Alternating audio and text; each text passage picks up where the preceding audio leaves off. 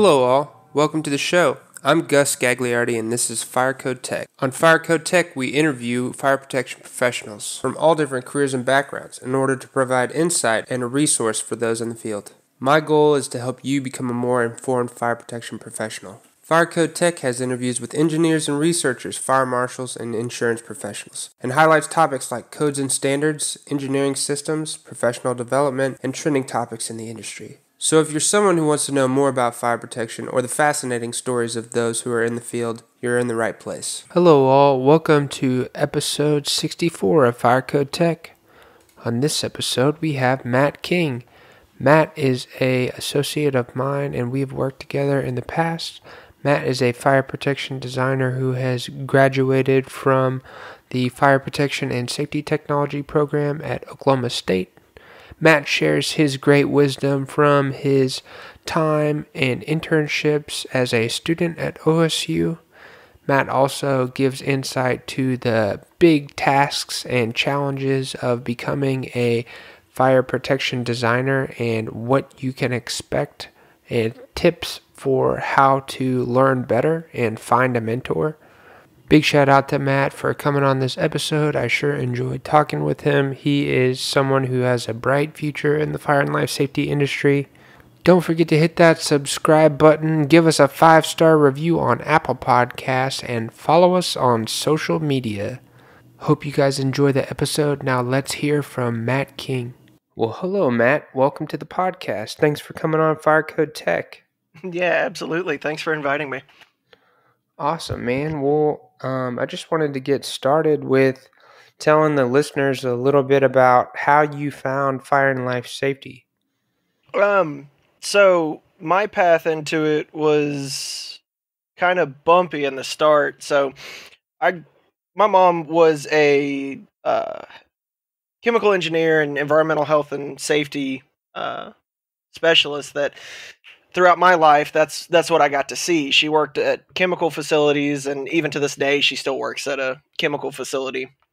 Um, and so I never really thought anything of it, and I really found a respect for it when I was in high school. I played football for a really long time, and uh, I ended up having a really traumatic injury to my leg, which actually took me out of football. Well, at the time, I was actually involved in a vocational school that prepared uh, high school students to go into what was called Houston Fire Academy. And right when you graduated, you went right into academy, and then uh, you went through another like eight month training for your EMT, and you were a certified firefighter EMT. Um, at the time, my mom was still a chemical engineer, and she looked at me and she said, "Hey, what if we pair that with engineering?" I said, "Sure." You know, I never really thought I was cut out for college. I thought, well, if it doesn't work, I'll just go back to firefighting. And so we ended up going and re- researching schools and uh, found Oklahoma State. Went and visited it once, and uh, that was the only school I applied to, only school I got accepted to, and then the fire protection program was the only only thing I graduated from in terms of Oklahoma State. So that's awesome, man. Good to hear about that you had an interest in it from an early age and got exposed and as part of that vocational program. That sounds pretty cool. What do, do you feel like you learned things from that program that you carry through with you now that influence the way you look at fire protection engineering? Um, yeah, actually I do. Um, so one of the biggest impacts was our teachers were actual either retired Houston firefighters or active Houston firefighters who worked very closely with the Houston Fire Academy. Um, and something I realized was that they were very well um, ingrained with their training. They they knew when they rolled up on scene they had to do this, this, and this, and they didn't I think one thing that they didn't think about were the systems that were in the building. Um, and I kind of saw that as a fire protection engineer or fire protection designer. It's our duty not only to protect the people in the building, but to also provide firefighters with the proper tools so that they can focus on their job. Um, I think it's one of the one of the aspects that isn't really talked about much is how we are we work together, but sometimes not as closely as we think. That's true, man. It uh, seems like that is a point that is felt on both sides of, you know, for the fire service and for the fire protection engineers. This little bit of a disconnect between the two groups and needing to be more coordinated. So that's a good point you bring up. But I wanted to um, ask next about your time in the FPST program and you know what you thought about that program after you made your way in and you had a little bit of experience. But yeah, what did you think about Oklahoma State's um, FPST program? I truly, you know, it was a love hate relationship. um, at, times, it was really difficult for me because I'm a very visual, hands on learner. Um, if I can put my hands on it and move it and turn it and pull it apart and put it back together, I will remember it for the rest of my life. Um, but some of the conceptual stuff was difficult for me to understand. Uh, and so there there were times that were struggles, but as a whole, I mean, the program kind of changed my life. It really gave me a different perspective on one kind of how buildings are built, what jobs were out there, what opportunities I had for myself, even um, when I graduated. You know, graduating, I was like, yes, I, I can do this. You know, I I've passed this first milestone, and now I've got something that I worked really hard for that nobody can really take away from me. Um, and so my time at OSU was was a blast. Uh, the professors were incredible and supportive. Um, even you've had some of them on here, uh, Dr. Agnew and and Dr. Charter, uh, just incredible professors who really showed that they cared about their students. You you could feel it, and that they cared about your learning. Yeah. And that that was a really incredible aspect of of the program. Yeah, I totally agree. That's awesome. Yeah, I definitely feel similar to you about uh, just being a visual learner, and you know, sometimes in some of those courses like fire dynamics or some of the more um, high-minded conceptual courses, that I definitely had a hard time you know, in different classes as well, but really enjoyed it. So, um, what were some of your favorite classes when you're in the program? Um, uh, truthful, smoke and vent. I loved smoke and vent. Um, learning kind of how to, or the the basics and really the roots of smoke control systems. Um, and kind of, I really loved seeing how you know, we always hear about how a lot of individuals in our profession come from some kind of mechanical background. And when you take smoke and vent, you're combining a little bit of HVAC design with a fire protection concept. And so I thought it was really cool to make that connection and see really why there are a lot of individuals in our profession that come from HVAC and, and be really successful. Um, but that that was overall one of my favorite classes. I loved doing all the designs and, and learning about HVAC systems and how to pair that with our understanding of how fire behaves and um, what it's going to do in terms of the design. So that was probably one of my favorites. Um, o- occupational safety was also one of my favorites. I I really loved that class with uh, Professor Stockel, uh, another amazing professor who who cared about her students. But Occ safety was another one where you got to see why safety matters in industrial facilities and you know she she would preach that you've got to be able to communicate to people why they should do it and not just tell someone that they should do it. So that that was also a really cool class. That's a good point man. Yeah awesome. Well, I know that you had a couple of um, internships throughout your time at Oklahoma State. Um, tell the listeners a little bit about the different experiences you had before you got out of college. Yeah. Um, so my first internship was with Hayden and Company, and they're a um, industrial fire protection sales company, and so they provide uh, just about anything you you could need from from firefighting foam to nozzles, deluge valve assemblies, butterfly valves, you name it, they they can help you. And so uh, that was my first internship, and I I learned a lot from that. Um, I remember my my second week there, we put together a whole bunch of deluge valve assemblies, and I remember torquing the bolts down and everything, and actually getting to put my hands on it and see what a deluge valve itself was, and then a strainer, and then the OS&Ys, and build the pallets for it and everything. Um, that was really cool, and I got to go to uh, the NFPA conference in 2019 there in San Antonio.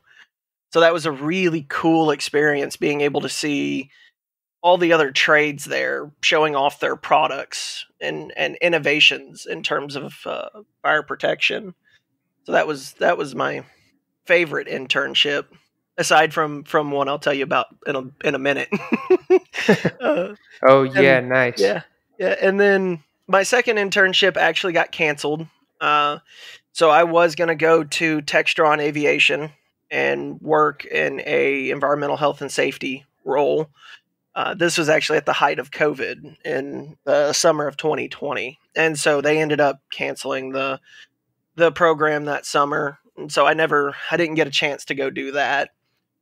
And then what would have been my third internship, or technically is my third internship, was with FSB Architecture and Engineering, and so I actually jumped in and got to see the design side of it, um, and working with the the plans that actually go into the buildings that that we build around the nation, and so it, that that was another great experience. Yeah, so that's a great time to say that, you know, how I know Matt and why it's real easy for me to ask Matt leading questions on some of the cool experiences he has is because uh, Matt was an intern when I was at FSB.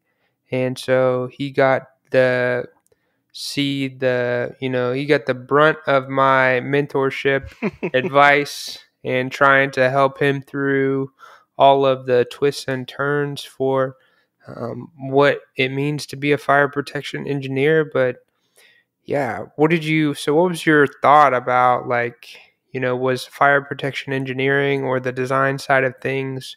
What you were thinking it was going to be when you you know came to FSB? Um, that that's a hard one to answer.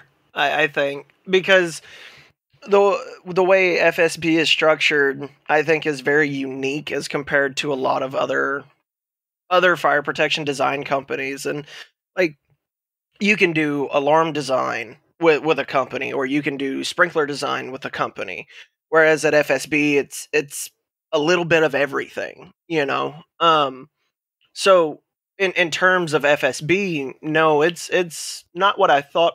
Excuse me, not what I thought it would be. Um, but it's still a very fulfilling and great experience that I've I've been able to have. Uh, I just, in terms of design, I didn't realize how much actually goes into it and how much thought process has to actually go into it. Whereas I feel like in sprinkler design, you know that the building's been built and you know you can run through. You know these systems have pretty much been set to a degree, and you can just run straight forward and, and design your system. I feel like in the A and E world, things can change. They shouldn't change at any moment, but they could. you know, you you could get down to your your your deadline a week away, and then somebody comes and says, "Oh yeah, we changed this system," and then you've really got to sit there and, and think about how that one change affects your actual system design. Yeah. And so I I do think that that's a a very unique setup.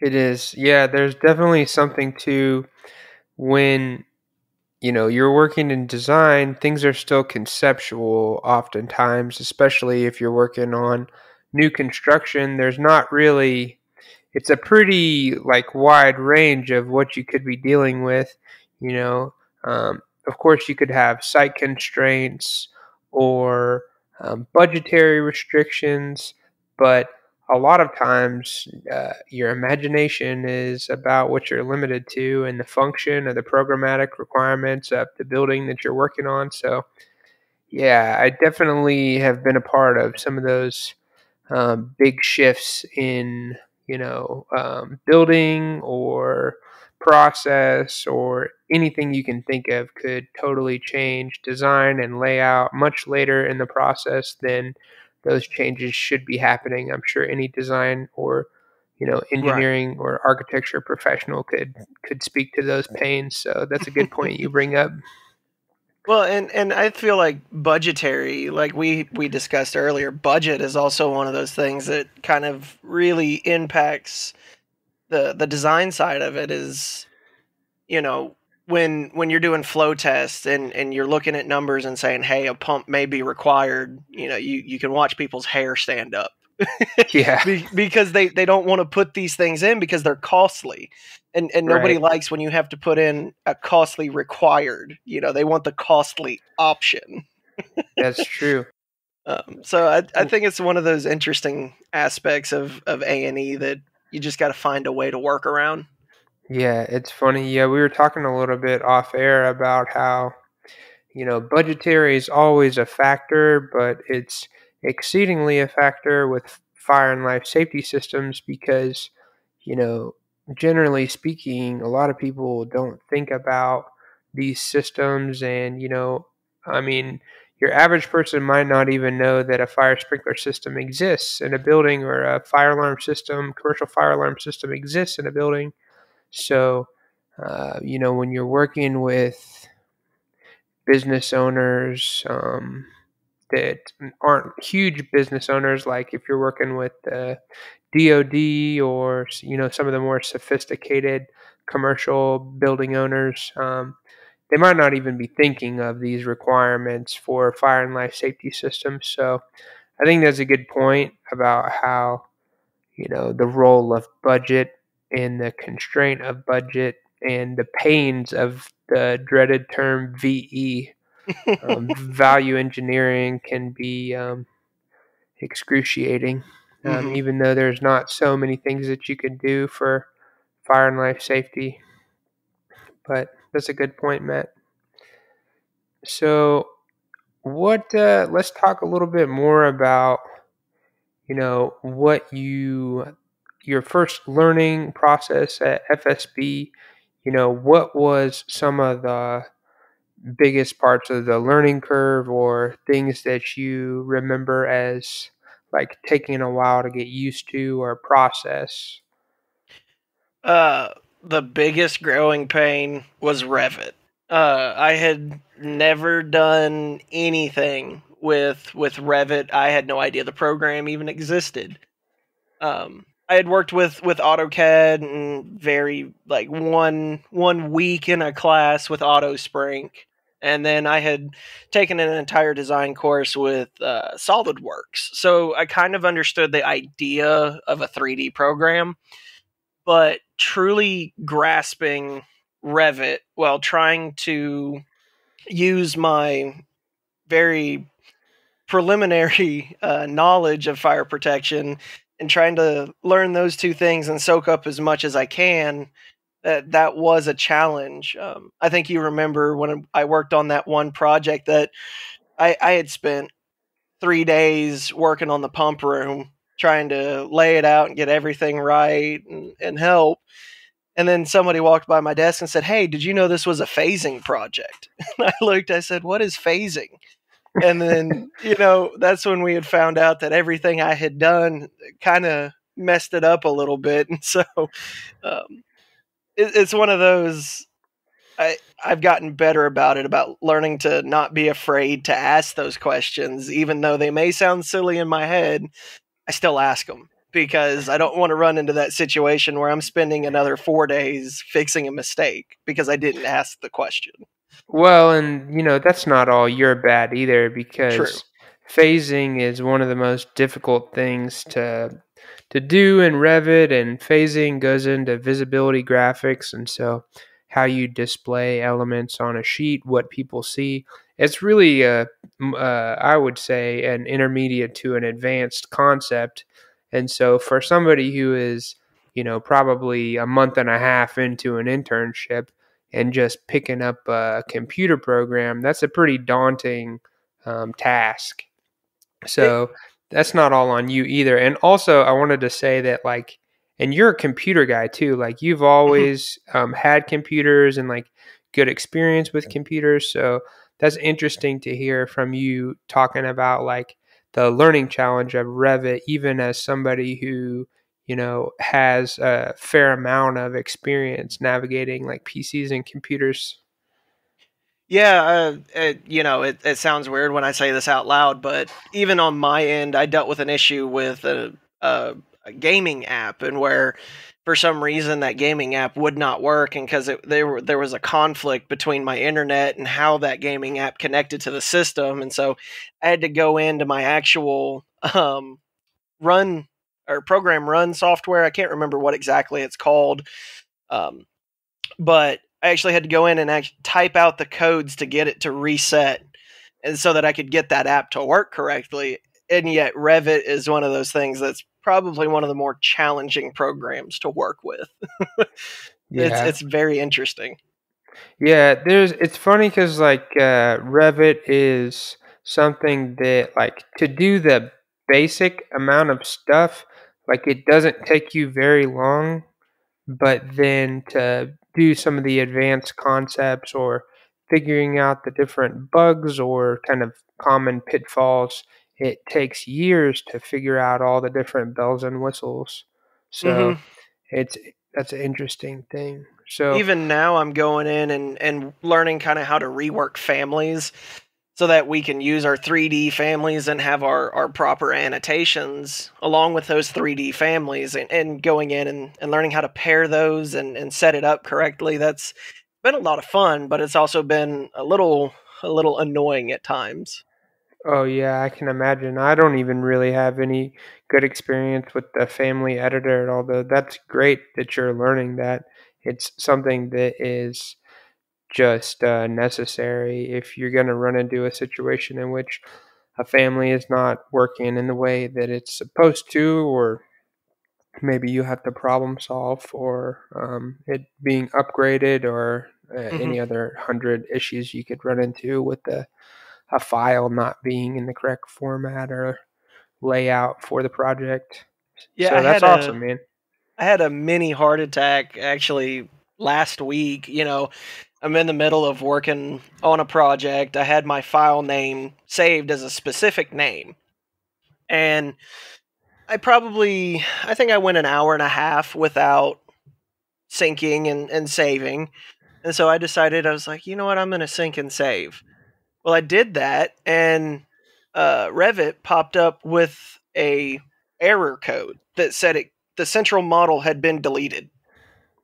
oh, no. I, I, about lost it. I, I, couldn't figure out what I did. I didn't delete anything, and so I, I, went through my my little process of checking, and we found that somebody had renamed my file in the middle of me working on the project, and that actually prevented me from being able to, excuse me, save my progress. Uh, and so we determined that if you just change the file name back, you can go and actually sync it and save it and do everything you needed to as long as you change it back to that original file path name. So that was a interesting tip I learned. Uh, wow, that's kinda. a good one to know. I didn't know that. Mm-hmm. Good. Well, so let's talk a little bit about the engineering side of things and like, you know, that learning process and kind of, you know, what you learned or what had a steep learning curve initially for fire protection engineering? And then uh, yeah what do you think about from that piece of things? Like was it codes and standards or was it like just understanding all the industry jargon of you know construction documents design development? Like what part of that did you remember kind of like grappling with I think one of the things that's been the toughest for me to understand is fire alarm. Uh, kind of understanding how things connect into a fire alarm panel, understanding what different types of signal lines you can have. You know, at, school, we take a very early class and, and learn briefly about fire alarm and, and how to wire up uh, detectors.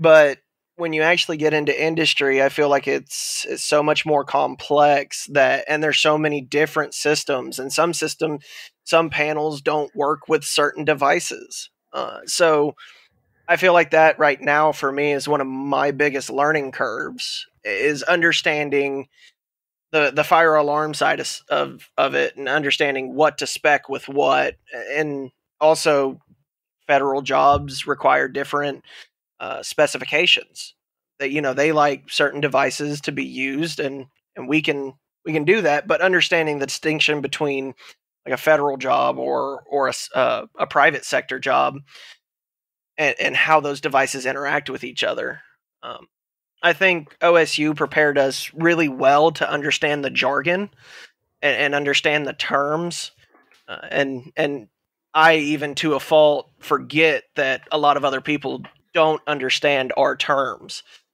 And so when I'm writing an email or I'm just talking to someone, I'll use our abbreviations. And then I'll get the question back, hey, what does FACP stand for? And then it, it clicks to me like, oh shoot, you know, they they don't understand our our language. And so um, that would probably be another learning curve is understanding that even though I know the abbreviation and the jargon, I've got to spell it out for for everyone just in case they don't understand the the shorthand. Yeah, that's a good point, Matt. I think that I'm still struggling with both of those things you're talking about. So that's cool to hear about, you know, kind of your learning process and the different things.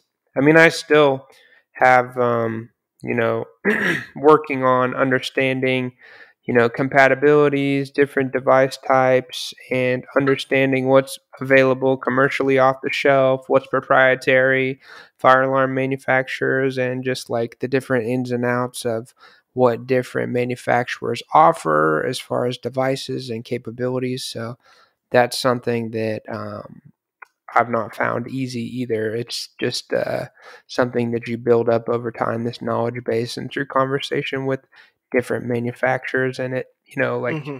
there's a, a, over a half dozen fire alarm manufacturers, so it takes a while to even run into all those different types of panels, and you know, and then you get excuse me, then you get old systems that are deprecated or you know they might not even make them anymore. You know, mm-hmm. I've been in old buildings where they have fire alarm panels that like this uh, does not exist anymore. So um, right. We're definitely not maintaining this thing. So.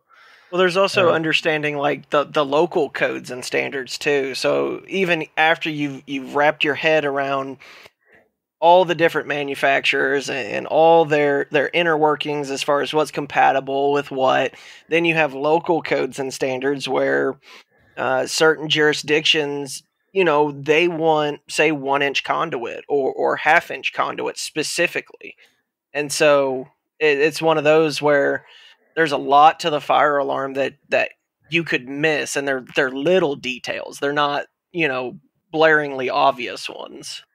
Yeah, that's true. Those understanding the different pitfalls of different jurisdictions is something that is by no means easy, and so I it's uh, that's a hard fought battle. You know, starting early and often to coordinate with the authorities having jurisdiction on preferential things. You know, maybe it's not even spelled out in a very convenient place for you to find with that information for the project you're working on. So I've definitely uh, seen that. It's something that you know, get building that subconscious. Um, you know, reminder where you run into certain coordination topics and you're like, oh, this is my list of six or seven different things that I need to follow up with the building owner and with the different regulatory entities, and also thinking about insurance requirements. So, just all of the different stakeholders in a project that can be the AHJ. That is something that is a real finesse of somebody who has been in the industry a long time when they have a good handle on all those factors. Mm-hmm. But yeah, so tell me a little bit about um, the different kinds of professional society involvement that you have been a part of. I know that we both just had the chance to go participate in an SFPE event, but yeah, what kind of different um, organizations have you been a part of over the years? So when I was in school, um, kind of finding my way, I was I was obviously I was with the Fire Protection Society for a really long time, uh, and then I joined uh, what was I can't I don't know what it is now. Is it ASSE or is it it's it's American Society it's of Safety Engineers. now. Oh, is it ASSP now? Okay. Well, yeah, I think it was ASSE, but I think it's ASSP because they changed it to professionals. I don't know. I'll Yeah. look it up and throw it in the show notes. I don't know either. I, Yeah, did- I I think it's changed like three times. Honestly, I think it. Right. I think it was something even different than when I first came to the program, and then it changed to E, and then now P or something. hmm So I was I was a part of that for uh, two two or three semesters, and then finally my last semester I decided to join SFPE since I knew I was going into a design role with an architecture firm, uh, and so um, this past year I've been a part of the SFPE chapter in Oklahoma City, and that that's kind of my start right now. Uh, I'm in the process of trying to get certifications, uh, so just kind of be a part of those different processes. Yeah, and you've been working on studying for your FE and plugging Mhm. away and studying. There's some professional credentialing you've been working on. Right. So, um, with well, and you know this, with our degree, we can get our GSP, and so I just need to submit a couple more things, and I'll get my GSP, which is the Graduate Safety Professional, uh, and then uh, I'm in the process of of studying for my FE with the eventuality of getting my PE. Uh, and another certification I'm trying to go for and build up the repertoire and experience is my IHMM, which is an Industrial Hazardous Materials Manager. Um, Oh, very cool. Yeah, So- I remember.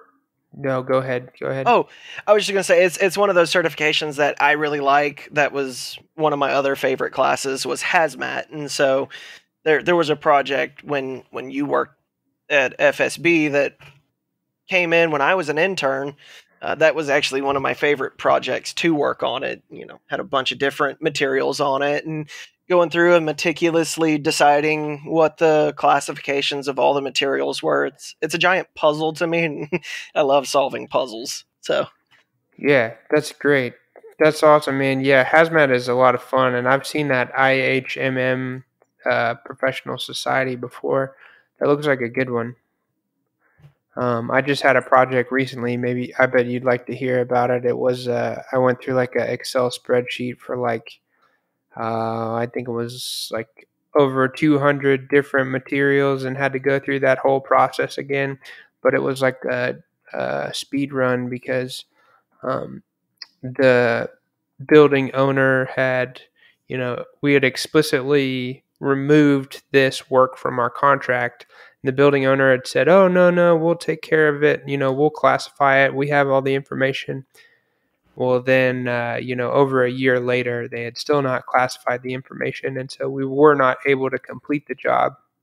And so, finally, we had been kind of pulled or dragged into the process of um, you know doing this hazardous materials determination and um, doing this huge spreadsheet worth of work. So i went Mhm. through that whole process again um, and was trying to find different ways to automate it and working through this spreadsheet but it was a real behemoth and it ended up eating uh, a full weekend and then probably like almost a week worth of just like slugging away classifying hazmat stuff.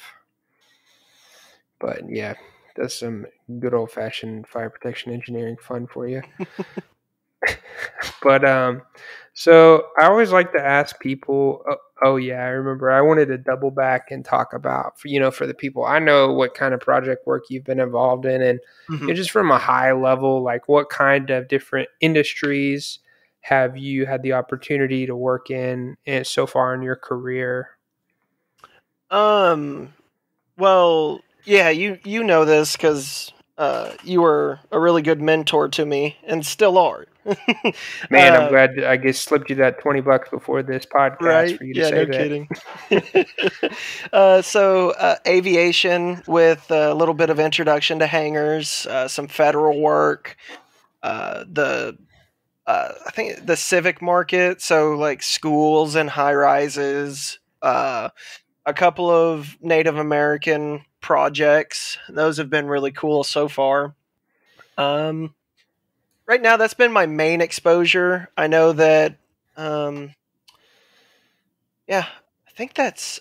I'm trying to think back to my old presentation that I gave when I was an intern, and you know, I, I can't. It's I'm not being able to recall it right now, but oh yeah, I understand. It's really just like it's hard to remember the projects that aren't within the last two three months and like right. you know, that have been swallowing all your time. Seems like uh, I bet you've touched almost from what I remember from your presentation. You touched all the market sectors, like so Native American, civic, aviation, Department of Defense, infrastructure yeah. and technology. Like I'm pretty sure you had jobs in each one of those. So yeah, just um, kind of touching a little bit of everything and and dipping my toes. But I know the last six or last five months have been primarily um, aviation, DoD, and um, the the civic market with schools and high rises. That's awesome, man. That's good stuff. Well, I like to kind of plug people at the end of the podcast for you know, professional development topics, and you've um, talked a little bit about your experience and the learning curve. But I'd love to hear about, you know, what piece of advice you would give to individuals getting into the industry. How would you learn different? Um, you know, what tips would you give people? Yeah, so I mean, one of the tips I would give is is find a mentor who's who's willing to provide you with as much information as they can. You know, an individual like the host of this podcast, Mr. Gus, he, he's he's great at being able to disseminate that information when you have a question. But there's also you can go and read code. Um, code is going to give you a very prescriptive way of doing things, but honestly going and finding blogs or even uh, there are I, I, think i found a couple of uh, individuals on youtube who can kind of teach you how to run through calcs. Um, one of my favorite blogs that i've been going to is the MeyerFire blog uh, and they even have a uh, training academy i think is what they call it or MeyerFire university that you can can use and they have a bunch of different videos that go over design scenarios uh, that's that's something that I've been looking into here lately, and really just asking questions. Um, being new, you kind of get a free pass where you can you can kind of say, "Hey, I've never experienced this before. Could you explain to me what this piece of equipment is, or what this does, or uh, like in terms of HVAC, like uh, how do these systems work? You know, where what is a DOAS? I had no idea what a DOAS unit was, and it's a dedicated outside air system. And the way I learned that was just by asking the question. Uh, so that that would be my advice: is don't be afraid to ask a question, even though you may say it in your head and say, "Oh, this sounds silly. Like, how would no one know this?" Sometimes people don't know it and and it's okay to to genuinely ask to one better yourself and understanding the topics and uh, grow as a young professional. Yeah i agree. It's hard it's really feels embarrassing and it feels just like you don't want to you know project that out into the room but honestly and i'm still even talking to myself at this moment because i still get into situations where you know, even if it's not technical stuff, even if it's just like, hey, you know, I'm not sure who all stakeholder wise is on this meeting. You know, would everybody mind introducing themselves or, you know, something like that? So it doesn't have to be technical, it can be business related. It can be just as a component of your job or your work. Um, it's it's better to ask a question and to walk through it with people than to just move on and then you know have people figure it out later that you were completely ignorant of what's going on. So mm-hmm. um, it's that's a hard line to straddle, but yeah, that's a good piece of advice, Matt. Um, but um, another thing I always like to get a sense of from people, and we talked a little bit about, you know, the role of budget, and um, we talked also off air about just um, people's seeming kind of hesitance for you know what will come of the economy as being factors for what's going on in the industry. But yeah what kind of other trends are you seeing for fire and life safety or for the architecture engineering and construction industry uh well i mean this is something that you and i are very aware of is is the move away from from foams that have pfas or pfoa in them um, I'm actually going down to a seminar uh, here in a couple of weeks, actually, to learn how to design fluorine free foam systems. Uh, that seems to be one of the really big hot button topics right now. And I think something else that I've kind of noticed is the move towards CPVC pipe and as a substitution to regular galvanized steel or um, traditional like Schedule 10 or Schedule 40 piping, uh, seeing as it is a pretty big cost cut to be able to do CPVC at a time when there are supply chain shortages and very long lead time items. Um, I, I think that's something I've noticed on on quite a few projects so far, where they they're wanting to opt in for CPVC, which is uh, got its own kind of uh, nuances to tackle in terms of how to install it, and it's it's a very interesting trend that I think is going to be kind of kind of continuing for the next few years until we can really get the supply chain shortages figured out. Yeah, that makes sense. That's a good point that you bring about the different kind of pit pitfalls and different code implications of using CPVC piping. Yeah, I've had a couple of um, jobs, um, commercial jobs, and just residential jobs that have used CPVC. And also, when I was working at a fire suppression firm and working on res- residential jobs and designing jobs that have CPVC, you know, uh, I have mixed feelings about it. I feel like uh, mm-hmm. because mm-hmm. I understand the cost consideration, but also I understand that the there are some definite disadvantages to it. So it's a good point. There's some real pros and cons to CPVC piping. Mm-hmm. But anyways, Matt, well, that's all I got for you, big dog. Um, anything else that you want to talk to, or any questions for me? I know I kind of put you on the spot with this whole interview, so I really appreciate you bailing me out. But Oh, you're yeah. Okay. Anything else you want to cover? Uh, no. I mean, you know me. I'll probably text you with a question on Monday. uh, but you know, I think that is one thing. Is if you can find a mentor who will be that person that you can just shoot a text to, and and heck, even if they respond to you within a week, you found a good mentor. Um, the I think that's that's if you can find that, that's going to be one of the biggest benefits as as a young engineer and a young professional. Yeah, that's a good point. It's um you know, it's not an easy thing to do. It's like you need to find somebody who is uh, professional fit, so they're doing the same job as you, and then you also have to find somebody that you have similar communication and learning styles from. So I feel like we are geared in a similar way for like learning styles. So mm-hmm. um, it's just something that uh, is not easy or intuitive to do to find somebody to help right. kind of talk you through different stuff, but it can be a huge help for. There are some things that are just not explicitly spelled out, whether it's the business part or the technical part, and so years of experience are a great tutor, but anytime you can lean on people, there is absolutely no shame in it. And I can promise you, if somebody has the capability to answer, they are going to want to do that for you. They're not going to want you to just suffer through something that they can, you know, point you in the right direction of. Um, so that's a great point, Matt. Or they Well- can tell you, did, or they can ask you, did you read the code? yeah, or they can say, "Did you check here, here, and here first? right.